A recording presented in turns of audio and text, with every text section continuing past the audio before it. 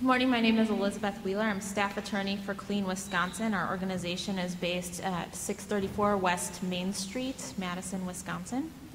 Thanks for the opportunity to comment today. I'm here to speak about Clean Wisconsin's concerns with GTAC's pre-application notice and bulk sampling plan. Since this is the first of only two required public hearings for the entire project under the new mining law, we felt it necessary to speak at this hearing and identify issues not only with the items in front of DNR, but to help outline our hopes for the decision-making process moving forward. I'm going to try to outline as many specific comments as I can in the three minutes allotted, and then we'll be submitting written comments before the end of the comment period on September 3rd.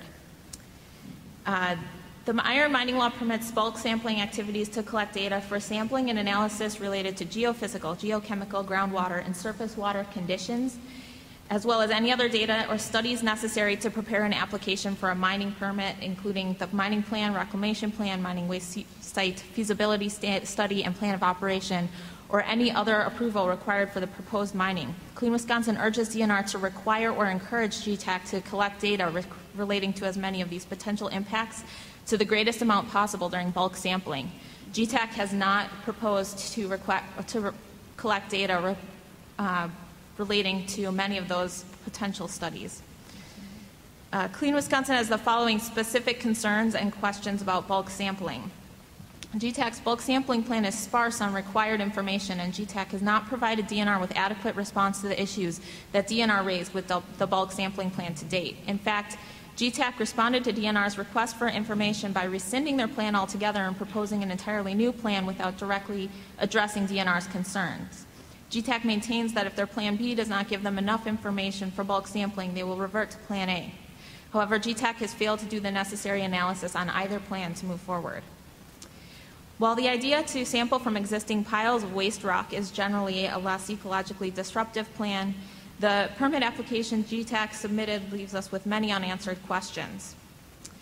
In specific, GTAC has uh, submitted no plans to control dust from the bulk sampling process. They also did not specify the extent of adverse impacts to the scenic or recreational areas, and they failed to prevent, provide a plan for dealing with sulfide minerals.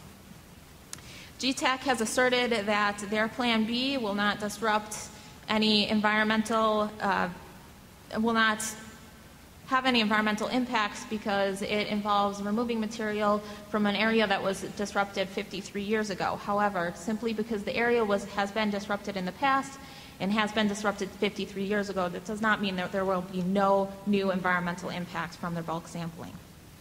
In addition, we've got many specific concerns with the pre-application submitted by GTAC.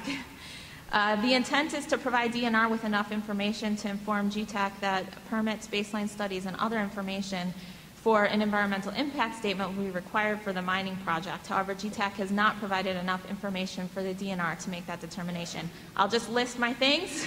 I know, I know it's hard to keep within the three minutes. And, um, if you could list your things really quickly. I'll just give you the top level And then some- we'll, we'll look concerns. forward to your written comments. Thank you. So we are concerned about mercury and arsenic pre- present in the rock. We're concerned about acid mine drainage that could be uh, created by the rock. Uh, we are concerned about the lack of information regarding both of those on, things on behalf of GTAC. We're concerned about the volume of waste, which is enough to bury the entire city of Green Bay under 10 and a half feet, feet of waste. Uh, we're concerned about um, asbestos-like materials that are in the rock. We're concerned about uh, the volume and source of water withdrawals, which they've been incredibly uh, vague about. And we're One more cons- concern. sorry. One more concern. One more. Okay. Uh, impacts that are threatened to threatened or endangered species. Thanks for your time. Thank you very much. And we do encourage you to submit, I know you have more detailed comments, and you'll let us know. Thank you.